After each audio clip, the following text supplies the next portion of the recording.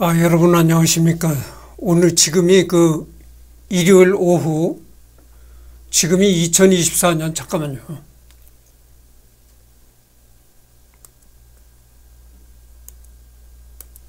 지금이 그 2024년 7월 7일, 아, 오후, 어, 2시 37분에 녹화를 합니다. 그래서 전번 시간에 그 여러분들한테 얘기했듯이 한국사 데이터베이스라는 사이트가 있습니다. 여기를 접속해 보면은 한국사의 모든 데이터베이스가 여기 다 올라와 있습니다. 그러니까 이 사이트가 너무나 그 방대하죠. 굉장히 큰 사이트입니다. 조선왕조실록, 고려실록, 뭐 삼국유사, 삼국사기, 근대사문서 이런 것이 다 이 사이트 안에 있는 것이죠. 굉장히 중요한 사이트입니다. 예, 그렇다는 걸 말씀드리고요. 이 사이트를 보면 이런 게 나옵니다. 한국사 총설 TV 데이터베이스라는 얘기죠. 한국 고대 사료 데이터베이스, 고려시대 사료 데이터베이스, 그 다음에 조선시대 사료 데이터베이스, 한국 근대 사료 데이터베이스, 한국 현대사료 데이터베이스 이렇게 나와 있습니다. 그래서 주요 데이터베이스를 보면 삼국사기, 삼국유사, 고려사, 조선왕조실록, 승정원일기, 역사 지리정보 데이터베이스, 3.1운동 데이터베이스, 헌정사 자료 데이터베이스 이렇게 되어 있습니다. 그래서 뭐 삼국사기를 클릭하면 이렇게 삼국사기 목차가 나옵니다. 아, 목차가 나오고 어, 목차 목록이 또 나옵니다. 그래서 이렇게 쭉쭉 나오는데 비교 보기를 누르면 이제 국문으로 어, 국문으로 된 어, 보기 쉽게 국문으로 된 게 나오고 원문을 클릭하면 원문으로 볼 수가 있고 그렇습니다. 음. 그래서 어, 한국사 데이터베이스로 넘어가도록 하겠습니다. 내가 여러분들한테 알려드렸듯이 어, 이게 말이죠. 어, 한국 근대 사료를 넘어가 봅시다. 한국 근대사를 넘어가 보면은 근대 전환기 사료라는 게 보이죠. 근대 전환기 사료라는 게 보이고 어, 여기 보면 동학농민혁명 동학농민혁명 증언록이라고 나옵니다. 그래서 이걸 클릭해 보도록 하죠. 음. 여기 동학농민혁명에 대한 여러 가지 증언들이 여기 나옵니다. 그거를 한번 해보도록 하겠습니다. 다시 피는 녹두꽃. 그 전봉준이의 별명이 녹두장군이라고 했잖아요. 전봉준이가 체구가 작아가지고 이 녹두 알만 하다 해서 녹두장군이 됐다고 내가 그런 얘기를 한 적이 있습니다. 그래서 그 동학혁명 그 주역들의 후손, 손자나 뭐 이런 후손들이 이 증언한 그런 얘기들이 여기 나와 있습니다. 여기 보면 뭐 무장기포의 구심점 고순택 손자 재호 무장고개로 지목된 김규일 증손 재훈 뭐 불꽃으로 죽어간 고창 고창농민군 김수병 손자 재덕 농민군으로 활동한 선달 김영두 손자 종식 무장기포의 주축들 문덕중 손자 노식 초도영의 자수한 한의사 출신의 배완정 증손 인수 뭐 이렇게 쭉쭉쭉쭉 나옵니다. 전부. 어, 공주전투에 참전한 김연태 증손 충태. 예. 고부 봉기의 주역 정일서 증손 연홍, 영환.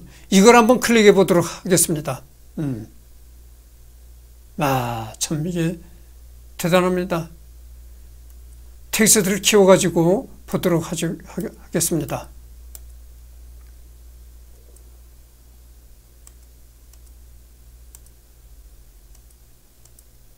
네. 여기를 읽어보면 이제 이렇습니다.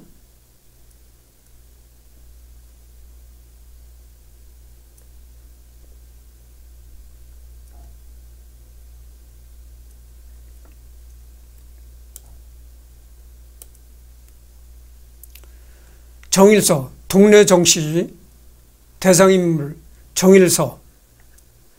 1850년에 태어나가지고 언제 죽었는지는 자세히 모른다. 이렇게 되어 있고, 동네 정씨, 족보상에는 귀혁, 원래 부르던 이름은 일서, 그리고 호적상에는 으뜸 원자 원서로 되어 있음, 고부의 농민군 첩주로 전창혁과도 같이 활동하고 고부 봉기 단계까지 주요 인물이었음. 합천 영주면 노실, 노, 노리실에서 피신하여 1927년에 사망했다. 이렇게 나왔습니다. 음. 어, 이, 이 글을 정리한 것은 우윤이라는 사람이 정리한 건데요. 증언인물, 증언한 사람은 정연한이라는 사람인데 1957년에 태어나가지고 김제 현재는 김제시에서 자영업을 하고 있답니다. 이 사람이 이제 증언한 얘기가 여 기 기록이 되는 겁니다. 그러니까 1957년생이니까 나하고 동갑이네요. 네. 읽어보도록 하겠습니다.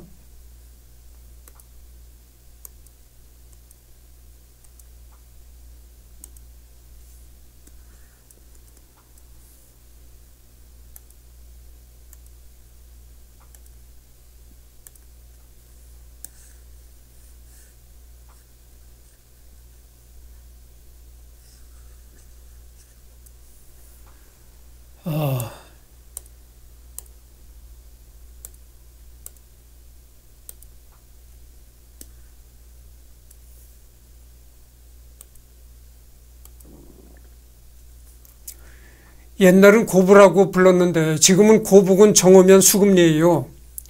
이 말에 동네 정신, 정씨들이 많이 있었습니다.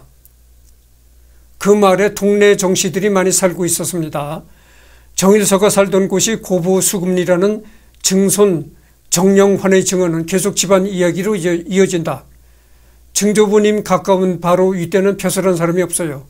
제가 듣기로는 더 윗대에 가서 육대조에 정승하신 분이 있었던 소리를 들었는데 잘 모르고 저희 증조부님이 육대 독자, 저희 할아버지가 7대 독자이고 시골 양반 정도는 되었다는 말이지만 재산은 꽤 있었, 있었답니다. 음. 잠깐만요.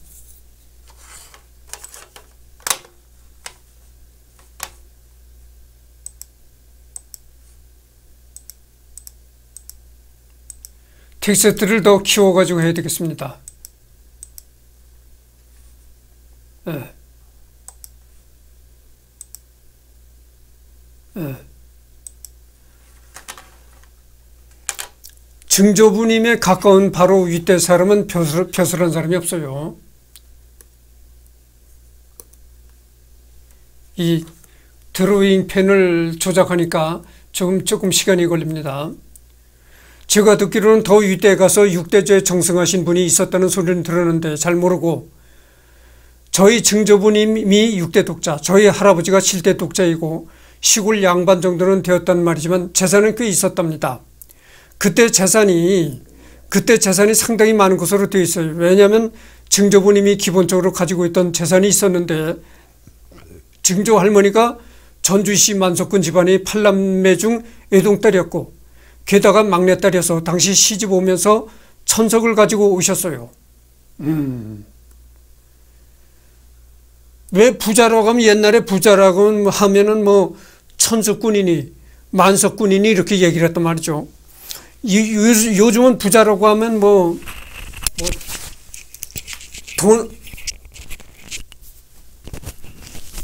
요즘 부자라고 하는 게 돈으로 따지잖아요. 그래가지고 뭐 천억대 부자니 뭐 어? 이렇게 일조 뭐 일조에 올라가는 부자라면은 뭐 재벌이 재벌급 되는 거고 뭐 백억대 부자라는 이렇게 얘기를 하잖아요. 근데 옛날에는 그렇게 얘기를 하지 않고 백석이니 천석이니 이렇게 얘기를 했단 말이죠. 천석 부자다. 뭐 이렇게 얘기를 했는데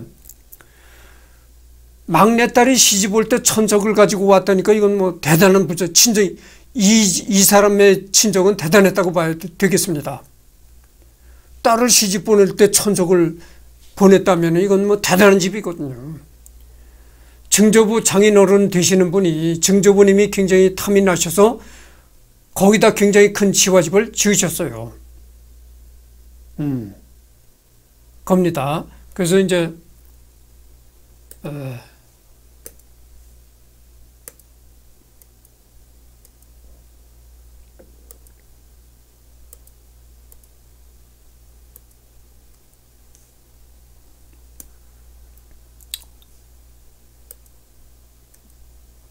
필기를 해가지고 또 지우고 하니까 시간이 좀 걸려요. 어, 그 이해하시기 바랍니다.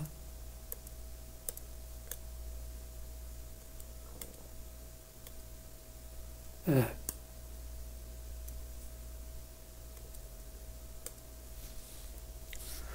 비록 처갓집 덕이지만 정일서의 재산은 천석을 수확하기에 이르렀는데 다음 이야기를 들어보자. 증조부님이 그때 당시 15살인가 12살 되던 때부터 영특에서 그 당시 고부 군수집에서 군수 아들과 동문 수학을 했어요.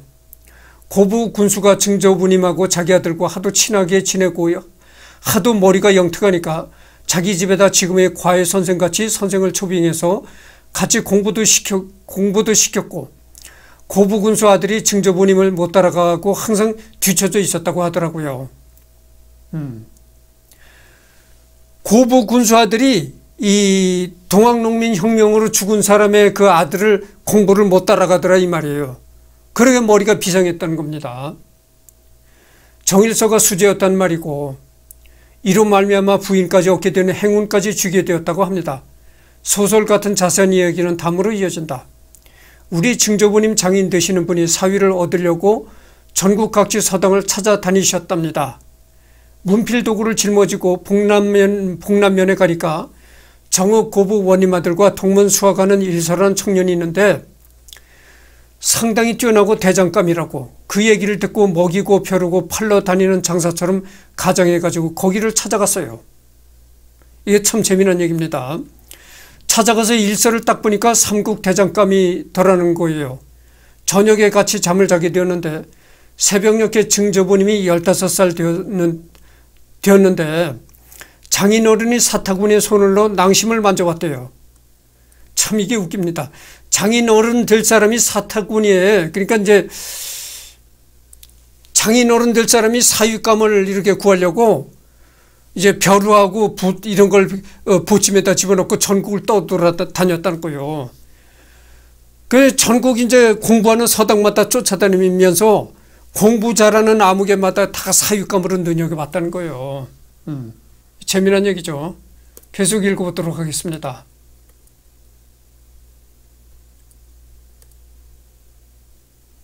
예. 근데 이 정일서라는 청년이 말이죠.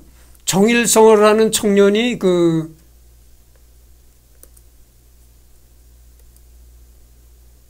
공부하는 정일서라는 청년이 공부하는 서당에도 왔었다는 거예요. 그 장인 어른 될 사람이. 그 이렇게 공부하는 걸 보고 정일서가 공부하는 걸 보고 사익감으로 좀 찍었다는 겁니다. 그래서 야, 너 나하고 같이 오늘 하룻밤 자자. 이래서 자는데 그 잠자리에서 이 장인 어른 될 사람이 사위 될 애한테 이, 이, 이 바지 밑으로 이렇게 손을 집어넣더란 거예요. 그래가지고 낭심, 낭심을 만져보더라는 겁니다. 그러니까 불화를 만져보더라 이거예요. 장인 될 사람이. 왜 남의 것을 붙잡고 그러냐 그랬더니만요. 왜 남의 그 불화를 잡느냐 그랬더니만은 아, 그래서 할 수 없이 자기 것을 보여주고 나서야 서로 헤어졌대요. 그래서 자꾸 장인 어른 그, 그, 그, 그때는 장인 어른 될 사람이라는 걸 몰랐죠.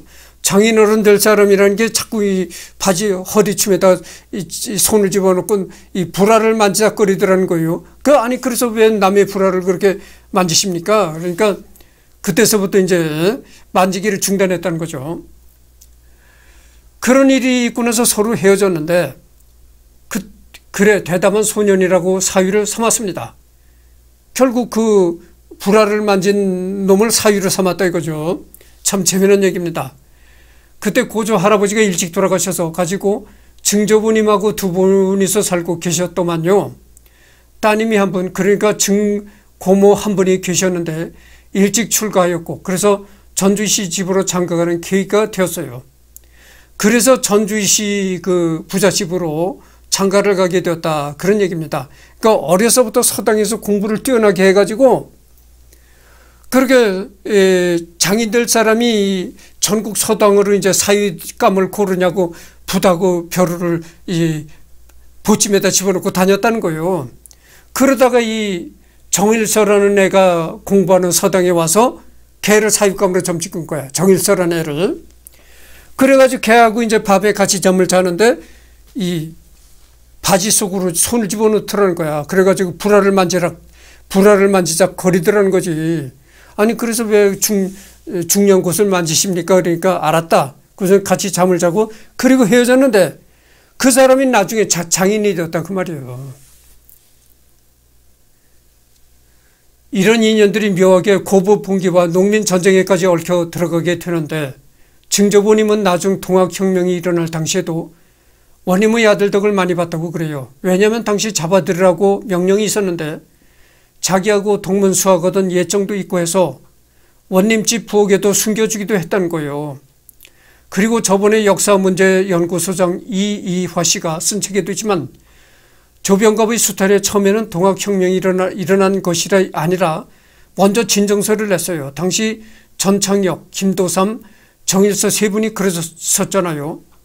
거기서 전창혁 씨는 감옥에서 맞고 고물당해서 감옥에서 나오셔서 그 후유증으로 돌아가시고 여기 이희, 이희화라는 사람은 역사학자입니다. 역사학자. 네, 그렇습니다.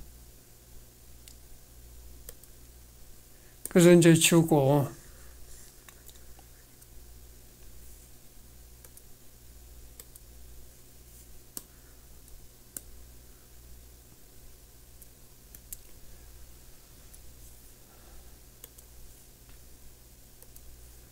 역사문제연구소장 이희화 씨가 쓴 책도 있지만 조병급의 수탈에 처음에는 통합혁명이 일어난 것이 아니라 먼저 진정서를 냈어요. 조병갑의 수탈에 고부군수 조병갑의 수탈에 대뜸 그 통합혁명이 일어난 것이 아니고 처음에는 진정서를 냈다고 합니다. 음. 그래서 이제 당시 전창혁, 김도삼, 정일성 세 분이 이 세 사람이 진, 진정서를 냈다는 거예요. 전창혁. 이 전창혁이가 누구냐면 전창혁이가 전봉준의 아버지입니다. 그래서 전봉준의 아버지 김도삼, 정일서가 이제 세 사람이 이 진정서를 냈는데 거기서 전봉준의 아버지는 감옥에서 맞고 고문을 당해서 감옥에서 나와가지고 그 후유증으로 어 돌아가시고 거기에 대한 동학의 대물림을 해가지고 증조부님하고 김도삼 씨하고 전봉준 씨하고 세 분이서 의논해서 동학분기를 일으키자고 해서 일으켰다고 합니다. 음, 처음에는 분기할 생각이 없었고 진정서만 내고 그러다가 어, 진정서를 내고 그러다 나니까 그 전봉준의 아버지가 어, 고을원한테 붙잡혀가지고 조병갑이한테 붙잡혀가지고 고문을 받았다. 그래서 고문을 받아가지고 나왔는데 그 고문 받은 후유증으로 죽었다는 겁니다. 그런 후로 이제 동학봉기가 일어났다는 거예요. 네. 그래서 15살 살 때에 동문수하거든 원의 아들이 30년이 지나서도 고부에 남아서 정일서를 숨겨주었다는 대목은 재고해 보아야 할 것이다. 응? 야 이게 기막힌 우정이요. 기막힌 우정. 어? 네.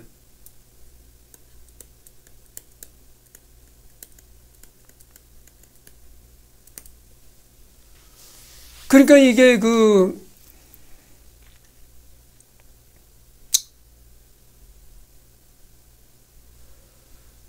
당시 그 어, 원의 아들이 같이 그 글 공부를 하던 원의 아들이 30년 지나서도 이 30년이 지나서 동학혁명이 한창 할 때도 이 원의 아들이 고부에 남아가지고 정일서를 숨겨주었다는 거예요. 같이 같이 서당 공부하던 어,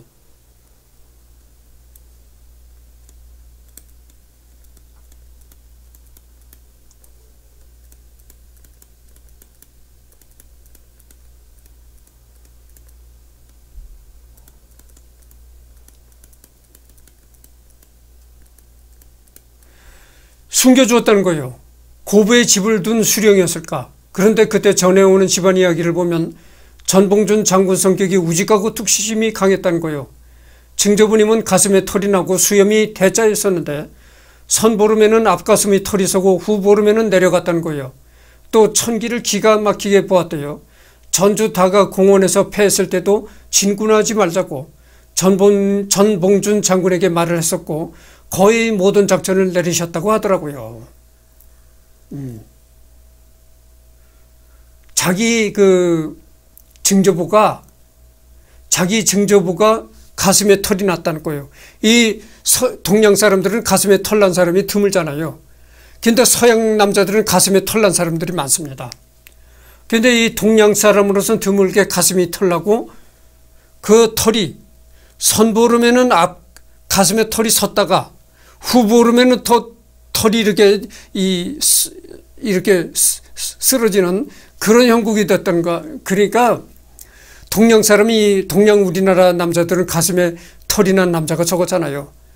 근데 서양 남자처럼 이 가슴에 털이 났다고 하는 거 보니까 곱상하게 생긴 게 아니고 체구도 크고 아주 우락부락하고 어, 이렇게 생긴 스타일이라고 생각이 됩니다. 그렇게 생긴 스타일이 가슴에 털이 나거든. 음.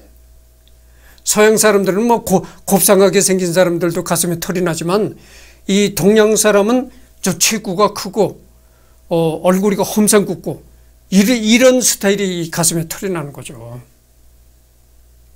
참 재미난 얘기가 많이 나옵니다. 여기 보면은. 예. 그래서 이제 싹 깨끗이 하고 또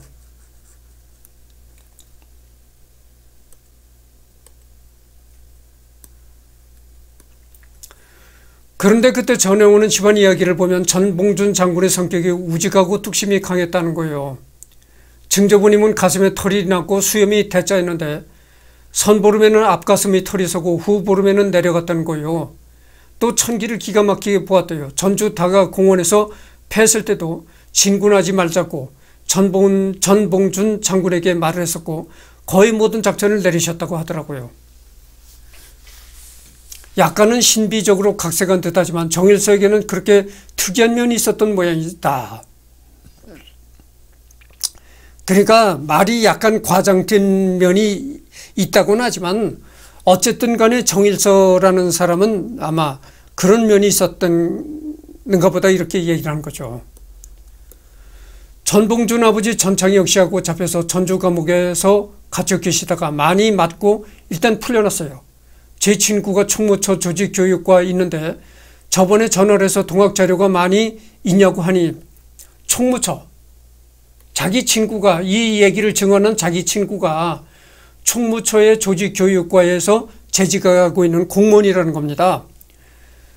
그래서 그, 그 자기 그 공무원 친구한테 전화를 해서 동학 자료가 많이 정부에 있느냐 그렇게 물어보니까 이번에 일본에서도 많이 모아오고 해서 동학 가족들에게 연락하고 있다고 하더라고요.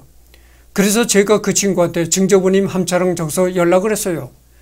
정업의 문화원장이신 최현식 씨는 증조부님이 민보군 때도 1898년 고부 정업에서 일어난 영학당 사건 때도 참여했는가 하는 것이 의심스럽다고 그러더라고요. 민보군 때도 제가 알기로는 참여하지 않은 것으로 알고 있어요. 그런데 며칠 전 족보를 보니까 증조부님이 돌아가셨을 때 묘를 썼던 주소가 나오는데 지금의 경남 합천군 용주면 노리시라는 곳이요. 우리 장형도 다녀왔고 아버님도 다녀오셨어요. 거기서 숨어 살면서 할머니 한 분을 얻으셨고 둘째 할머니시죠. 증조부님은 거기서 이화선 씨로 개명해서 사셨고 따님 한 분을 두셨다요. 저희, 저희 고모 할머니 되죠. 고모 할머니가 그 말 윤경선 씨라고 하는 분한테 시집을 갔어요. 그래 행정전화를 해서 용주면에다 전화했더니 이장을 알려주더라고요. 이장 이름이 윤숙현이라더라고요.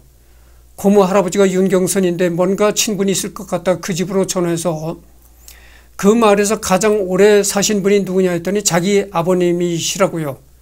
청력이 좋다고 하시기에 바꿔달라고 해서 혹시 윤경선이라는 분을 아냐고 하니 안다고 하고 그 장인 되시는 분을 아냐고 하니 그렇다고 해요. 그 장인 되는 양반이 이화선이라는 분이 만여관이 살 당시 이화선을 알고 살았는데 나중에 알고, 알고 보니 정일서 장군이라는 얘기를 들었다고 하더라고요. 그러니까 이 정일서 장군이 이름을 이, 이화선으로 바꾸고 살았다는, 살았다는 거죠. 음.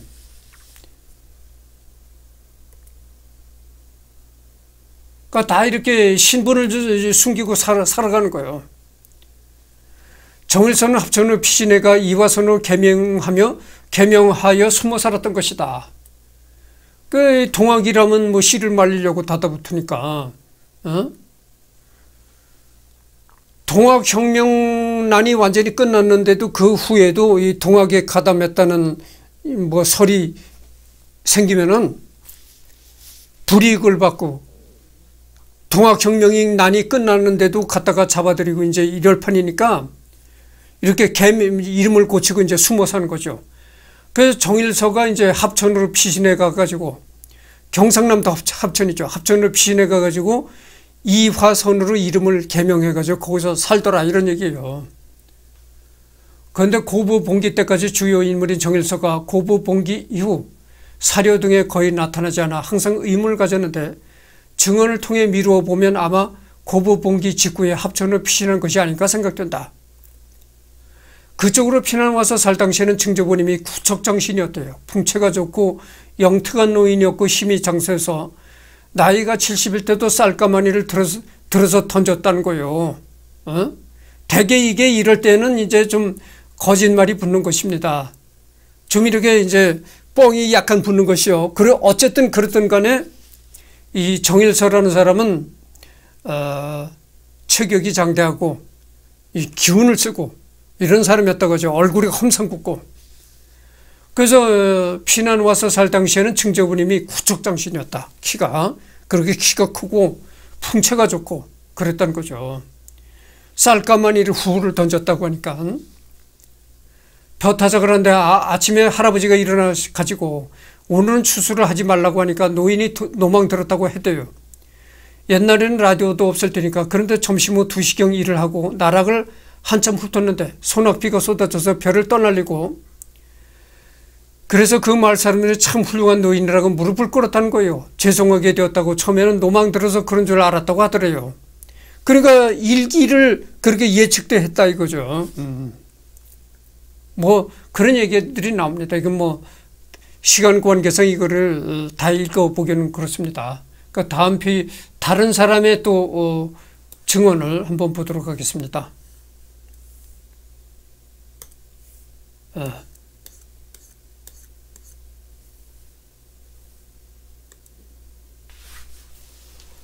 어, 그래서 어,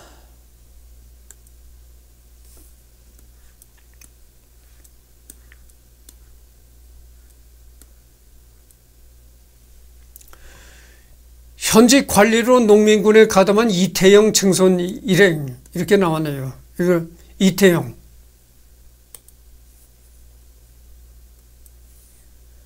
(1841년에) 태어나가지고 (1894년에) 죽었다. 본명은 계균, 자는 태형, 생부 수헌, 원헌에게 입양됨. 1888년에 무과급제, 군산 첨사를 여깁니다. 그러니까 1883년에 무과를 급제했으니까 어떻게 됩니까? 동학혁명이 일어나기 동학혁명 발발 1년 전 1년 전에 무과를 급제했다 이 말이죠. 한평에서 태어난 농민군으로 활동 중 같은 집안 사람의 밀고로 체포되어 1894년 12월 25일 나주에서 처형된 그의 아들인 충범은 후에 부친의 원수를 갚아 일명 이고창 사건, 효자로 칭함, 손자인 재욱, 은 대한민국 초대 국회의원을 지냈다. 이 사람의 손자가 대한민국 초대 국회의원을 지냈다는 겁니다. 이, 이 얘기를 증언한 사람은 이일행이라는 사람인데 이 사람은 이제 1931년에 태어나가지고 어, 언제 죽었는지를 모른다고 합니다. 이태영의 증손 진보운동을 하였으며 한평군 의료보험조합 대표이사를 역임하였음. 동생인 이연행은 현재 전남도 의원이고 사업을 하고 있다 이런 얘기죠. 그러니까 1931년에 태어났으니까 일제시대 때 태어났다고 어, 합니다.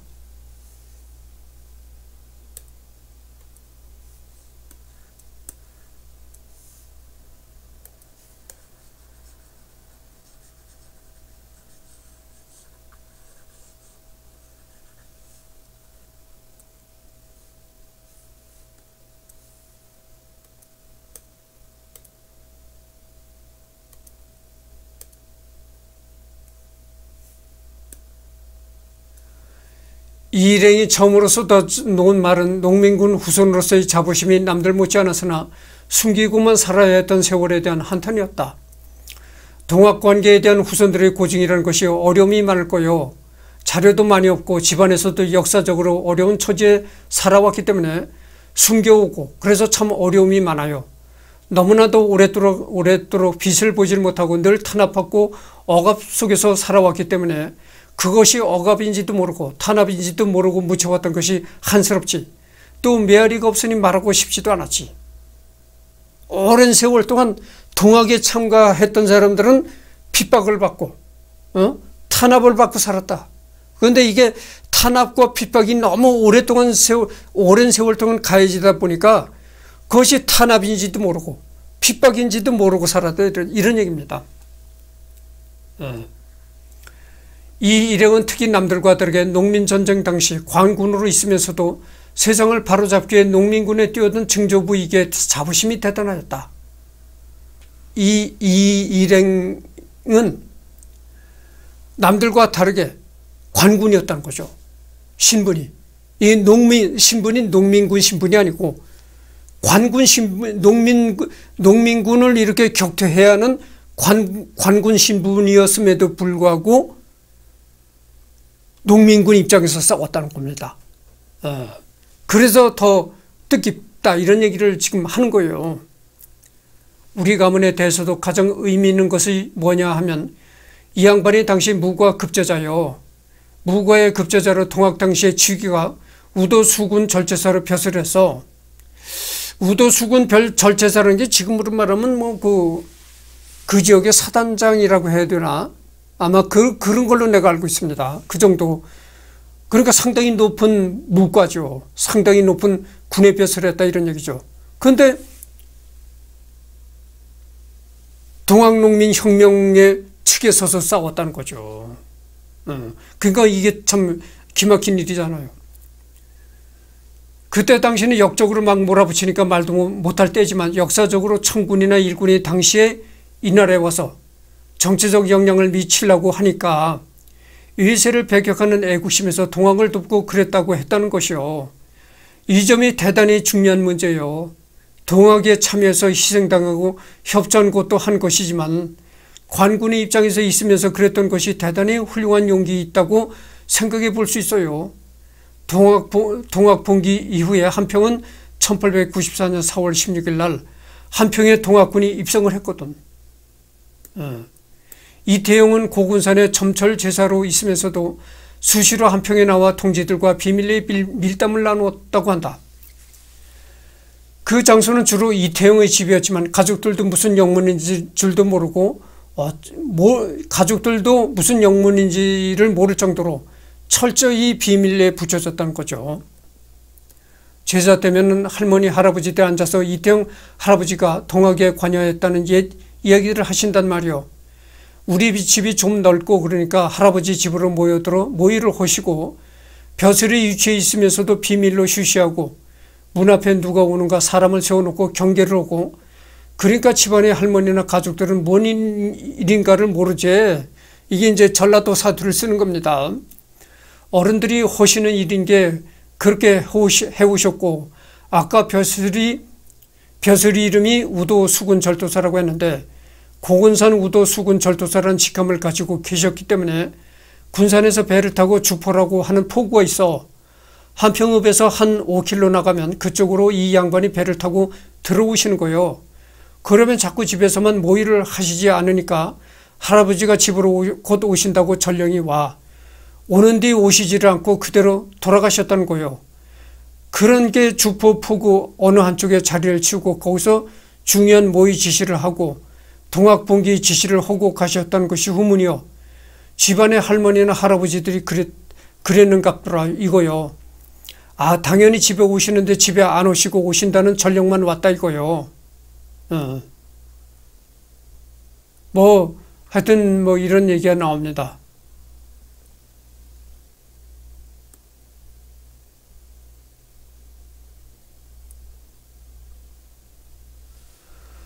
이태영이 이때는 그리 그 대단한 벼슬을 한 사람은 없었다. 이때로는 큰 벼슬은 것이 없지. 그때 아들이 큰 벼슬을 하면은 아버님도 직접 그런 벼슬을 안 해도 뭔 추중이라는 게 있더만 그래가지고 분명치 않지만 절도사 교지로 내려온 것이 있어. 그런데 내가 교통사고로 우리 고향의 집을 비워버리고 병원 생활을 3년 하는 사이에 잃어버렸어. 내가 교통사고로 죽게 되어가지고 살아나서 글을 안 하면 내 동생이나 아들들도 못한다니까 이런 말 했지. 그거 갖다 누가 써먹을 사람도 없는데 거, 거기에 고아가 같이 있었거든. 그러니까 그, 그림을 가지고 가느라고 같이 가져가 버렸어.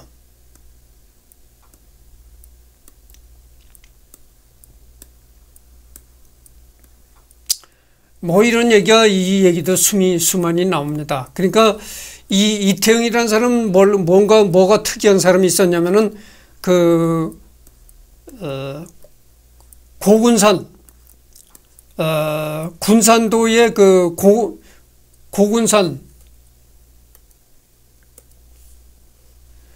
고군산 우도 수군 절도사라는 그런 그 어, 조선 정부의 직함을 가지고 있는 군인이었지만 어, 높은 벼슬의 장교였지만 그러나 관군에 서, 서질 않고 동학농민혁명에 가담을 해서 썩었다는 거예요.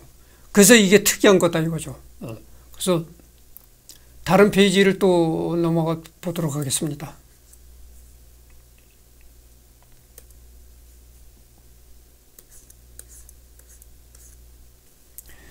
이거 동학농민혁명 증언록을, 증언록을 읽어보면은 참 재미난 얘기 많이 나와요. 어.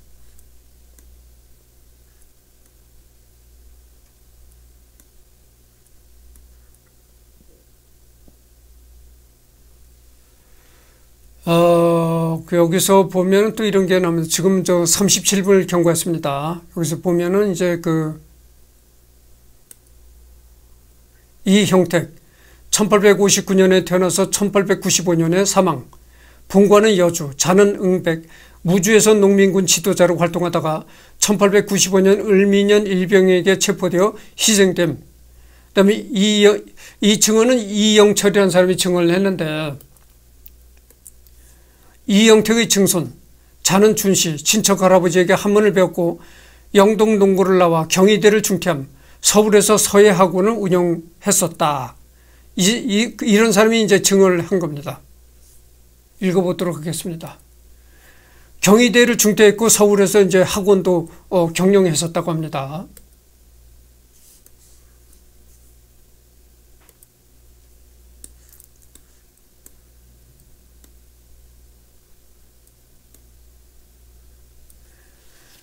이영택의 활동 내용을 더 이상 알기 힘들다. 그런데 1957년에 만들어진 적성지에는 이 형택의 행적이 좀 더 구체적으로 실려 있다. 이 형택은 적상 사람이었다. 그때 서울에서 사대부라고 지칭하는 자가 무주에 우거하면서 거민에게 유세를 부리고 토색이 자심하였다. 형택의 아버지 내습이 선산을 그 토에게 빼앗기고 도려 가혹한 형벌을 당한 일이 있었다. 아들들이 원통하고 분하여 설욕하기로 하고 서로 상회하여 사방에 지금 탐관 오리로서 양반이라고 지칭하는 자들이 자기 이익에만 힘쓰고 인민의 고열을 착취하고 거민을 토탄에 빠뜨리고 있으니 내가 마땅히 선두에 서서 이 자들을 숙청하고 위기 전 민족을 구출하려 하니 바라건대 따르려는, 따르려는 사람들은 즉시 골개하라는 통문을 발송하였다. 다음날 이른 아침 수천 군중이 이에 모여들어 호응하였다. 드디어 관할을 점령하고 도 수십 명을 결박하여 곤욕을 보이고 다른 지방으로 쫓아보냈다. 그리고 지금 외인들이 호시탐탐 우리나라를 노려 국가의 전망이 조속히 이끈을 소위 사대부란 자들이 국가의 녹을 먹는 신하로서 몸을 바칠 것은 생각지 않고 두려워 떨면서도 인민의 재산을 약탈하여 살해하면 급급하고 있으니 단연 그 이자들을 용서할 수 없다. 이제 내가 무도함을 없애고 우리 동지들과 경내 서민들을 구하고자 하니 각자 안도하라고 선언하고 음? 지금 그 백성들의 행복을 위해서 일해야 할 관리들이 백성들의 주머니를 털고 피를 빨아먹고 있다. 이런 꼬라지를 그냥 놔둬서는 안 되겠다. 이런 얘기죠. 그러니까 여러분들 들고 일어나자 이런 얘기예요. 이렇게 이제 선동을 했다는 거예요. 어. 국민의 생명과 재산을 보한다. 계급을 타파한다. 순천자는 보호하고 역천자, 역천자는 처벌한다. 여기 이제 순천자와 역천자가 나옵니다. 이게 한문자인데 순천자라는 건 뭐냐면은 사람의 순리, 그 다음에 하늘의 순리 이런 걸 따르는 사람이란 얘기죠. 역천자라는 건 뭐냐면은 하늘의 뜻을 거스르는 자. 이것을 이제 역천자라고 하는 겁니다. 그러니까 이 사회 통념, 통념적인 이런 도덕, 인륜, 그런 거에 따라서 살고 있는 사람이 순천자요. 그런 걸 거부하는 사람이 역천자다 이런 얘기죠. 이에 군중이 환호하여 동학에 들어가려는 사람이 많았다.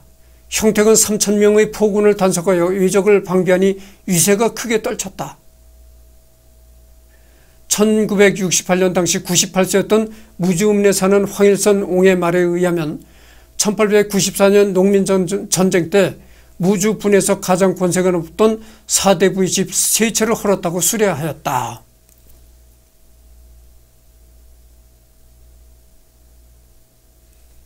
우리 집안이 원래 이규보 씨 후손이에요. 이규보 어, 조선시대 이, 이규보라는 사람이 훌륭한 사람입니다. 학자죠. 그러니까 원래는 양반 집이었죠. 그러니까 말도 있고 그랬겠죠. 백마가 일곱 필이라는 얘기가 들었어요. 백마가 일곱 필이라면 이게 상당히 부자입니다.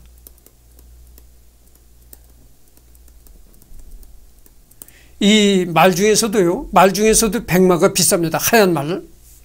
지금 저 녹화한 지가 42분을 경과했습니다. 좀 읽고서는 조금 읽고서 끝내야 되겠습니다. 백마가 일곱 필이라는 얘기만 들었어요. 살만하게 됐다고 그랬죠. 이 할아버지 형제간들이 5형제인데 키가 1m 80이 다 넘었대요. 이 할아버지 형제들이 5형제인데 이 5, 형제들의 키가 전부 180이 넘었다는 겁니다. 그리고 여러분들 지금은 지금은 뭐 180 넘는 사람들이 흔하잖아요. 지금은 큰 사람들이 너무 많습니다. 근데 이 조선시대만 해도요. 조선시대만 해도 이 180이 넘는 키라는 건 상당히 드문 키입니다. 근데 이 오형제가 아들이 오형제가 있었는데 오형제가 전부 180이 넘는 그런 거구였다는 거예요. 그래가지고 백마를 타고 삼형제가 나오면 무주의 시장 보다가 시골에서는 5일장이잖아요. 전부 장사하고 구경하느라고요.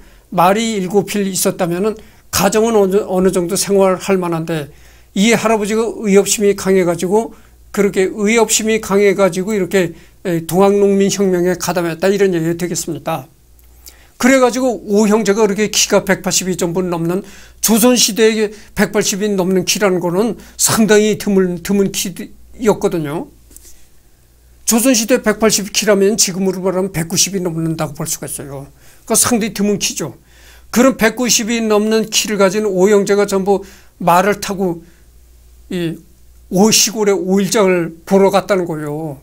그래 줄줄이 말을 타고 오형제가 그렇게 건장한 오형제가 말을 타고 지나가니까 이 장터의 사람들이 전부 이렇게 쳐다봤다는 거예요. 어, 그런 얘기까지 하고 중간에서 이제 시간이 44분을 경과했습니다. 이것으로 끝을 맺겠습니다. 그래서 여러분들 말이죠. 어, 내가 하고 싶은 얘기가 있는데 어, 여기 보면 그 한국사 데이터베이스라는 그런 그 어, 어, 사이트가 있습니다. 한국 근대 사료 어, 사이, 이, 사이트가 있는데 이 사이트에 들어가서 여러분들이 많이 그 어, 아주 재미난 내용들을 읽어보시기 바랍니다. 여기는 말이죠. 우리, 우리나라 예전부터 뭐 삼국사, 그 다음에 고려사, 음? 그 다음에 조선왕조실록, 뭐 별게 다 있습니다, 여기.